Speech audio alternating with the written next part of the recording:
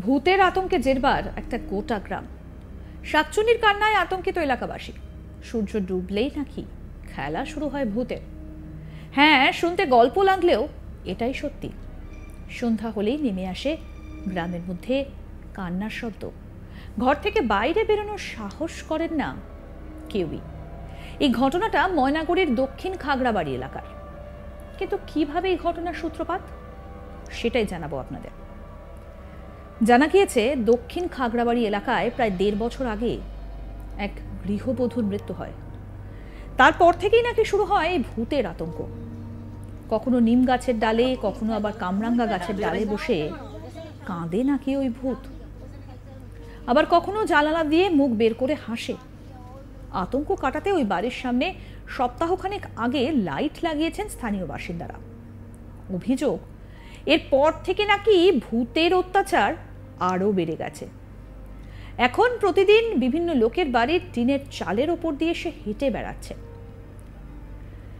তার পাশাপাশি স্থানীয় বাসিন্দাদের আরও অভিযোগ, এখন নাকি দিনে দুপুরেও ওই ঘর থেকে উঁকি মারছে মৃত ওই মহিলা। আর ওই ঘর থেকে ভেসে আসতে শুরু করেছে কান্নার আওয়াজ। কিন্তু কেউ সেখানে গেলে কোনো কিছু আর খুঁজে পাওয়া যায় না। কি বলছেন এলাকাবাসী? শুনব তাদের মুখ থেকেই। কি? আগে তো এখানে একটা ফাঁসি লেগে বউ মারা গেছে ঘরের মধ্যে। কোন ঘরটায়? এই যে সামনে হ্যাঁ ঘরটা। পাকা ঘরটায়? হ্যাঁ। আসে তখন থেকে তো সবাই বলে শব্দের মধ্যে পায়। আমিও একদিন পাইছি কান্নার আওয়াজ। হুম। আজকে একটু আগেই একজন বলে দেখল যে জানলা দিয়ে মুখ বের করে তাকে দেখে হাসতেছে। সবাই বলতো অতটা ই কেয়ার করতাম না আমরা। তারপরে আমাদের আমার হাজবেন্ড একটা লাইট লাগালো। আলো পরিষ্কার দেখা যাবে। তখন থেকে বেশি অত্যাচার এখন এখন কি আতঙ্কটা কি আপনাদের? আর আতঙ্কটা কি? আমাদের এখন বাচ্চা কাচ্চা নিয়ে থাকি। বেরোতেও রাত্রে বেরোতেও আবার ঘর থেকে বেরিয়ে হই না। ঘরের মধ্যেই থাকি। আপনারা কি এটার মানে কি কারণে হচ্ছে এটা জানতে চান? হ্যাঁ এটা জানতে চাই কিসের জন্য হয়েছে এটা তো সমাধান দরকার। ভূতের ভয়ে আতঙ্কিত এলাকাবাসীদের একটা বড় অংশ। সন্ধে হলেই ভয়ে আর বাড়ি থেকে বেরোচ্ছেন না কেউই।